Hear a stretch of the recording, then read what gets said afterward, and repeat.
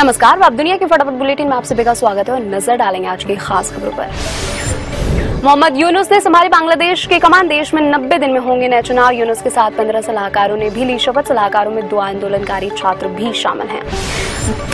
बांग्लादेश में हिंसा के मद्देनजर बहत्तर सौ से अधिक भारतीय छात्र स्वदेश लौटे। बांग्लादेश में लगभग उन्नीस हज़ार भारतीय नागरिक रह रहे हैं, जिनमें से नौ हज़ार से अधिक छात्र हैं। प्रधानमंत्री नरेंद्र मोदी ने मोहम्मद यूनुस को दी बधाई, कहा, हम बांग्लादेश में जल्द ही सामान्य स्थिति बहाल होने हिंदू और अन्य सभी अल्पसंख्यक समुदायों की सुरक्षा सुनिश्चित किए जाने की उम्मीद करते हैं। शेख हसीना ने गाजियाबाद में की शॉपिंग, तीस हज़ार रूपए का आया बिल, भारतीय नोट कम पड़ने पर बांग्लादेशी नोटों में किया पेमेंट।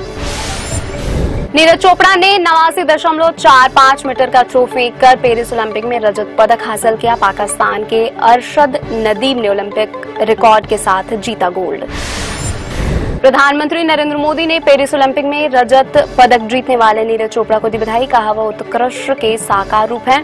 बार बार उन्होंने अपनी श्रेष्ठता की बानगी दी है। भारत हर्षित है कि उन्होंने एक बार फिर ओलंपिक में सफलता पाई है।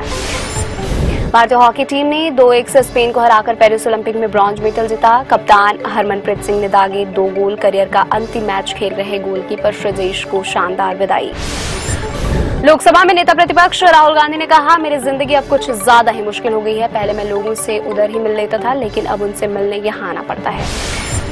सिक्किम में शुक्रवार सुबह भूकंप के हल्के झटके महसूस किए गए। रिएक्टर पैमाने पर इसकी तीव्रता चार दशमलव पाँच मापी गई। भूकंप के झटके हालाँकि हल्के थे, लेकिन लोग भयभीत होकर घरों से बाहर निकल आए।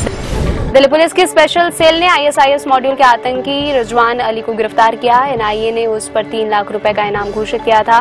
दिल्ली के दरियागंज का रहने वाला है रिजवान। ये थे आज के फटाफट बुलेटिन और ऐसे ही ताज़ा अपडेट्स के लिए बने रहे हमारे साथ। यानी कि विज़िट करें आप दुनिया पर।